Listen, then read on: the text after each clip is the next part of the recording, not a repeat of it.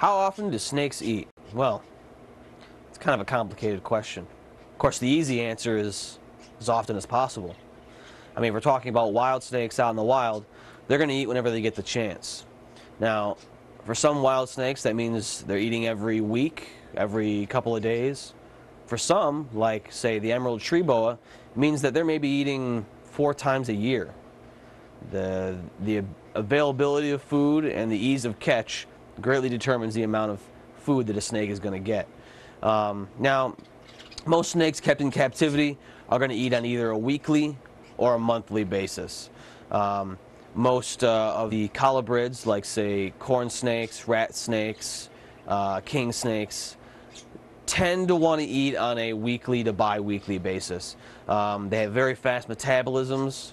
They tend to go through their food very quickly um, because they, they move a lot faster and they burn a lot more energy. The larger boids, like the uh, pythons and the boas, are going to be more on the every three weeks to every month kind of a schedule. Um, their prey items are usually going to be a bit larger, but they don't tend to move around as much and they don't tend to burn nearly as much energy as, say, uh, the colubrids do.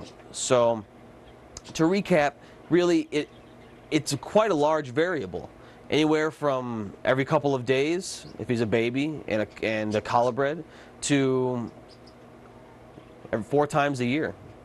So if you're keeping a captive snake and you're trying to find out how often to feed it, make sure you do as much possible research on that particular species because every species is going to have its own metabolism and its own rate of uh, food intake.